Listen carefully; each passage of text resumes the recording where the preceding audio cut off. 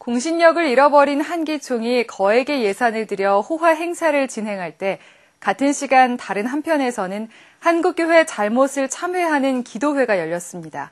최경배 기자가 전합니다.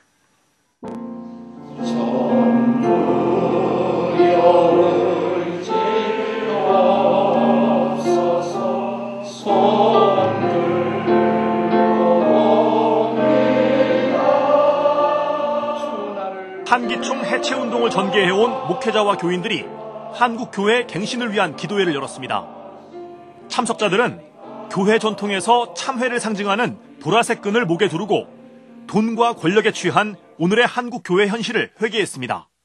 주께서 보혈로 사신 이 교회를 지키지 못하고 세상의 능력과 침뱉음의 대상으로 내어놓은 저희를 용서하여 주시옵소서.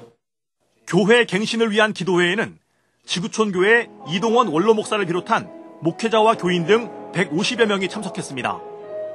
한기총 해체 운동을 처음 제안한 손봉호 장로는 한기총으로 상징되는 교회의 타락은 비단 한기총만의 문제가 아니라 모든 교회와 성도들이 함께 고민하고 되돌아봐야 할 문제라고 지적했습니다.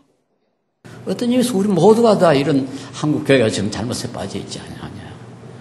사실 우리가 예수님 의 그 정신을 그 마음을 가졌다면은 한기총 같은 건 우리가 도저히 상상도 못할 일일 겁니다. 어떻게 그럴 수가 있는 거야? 참석자들은 내면에 자리 잡고 있는 권력과 돈에 대한 욕심을 회개했습니다.